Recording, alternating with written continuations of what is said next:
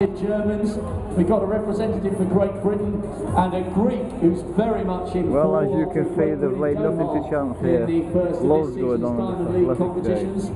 So the pole vault at half 11 and the men's long jump at 1 o'clock. Plenty more to come here in the big square as the sun begins to envelop us all. Please don't go too far for too long. Half 11, your next live action.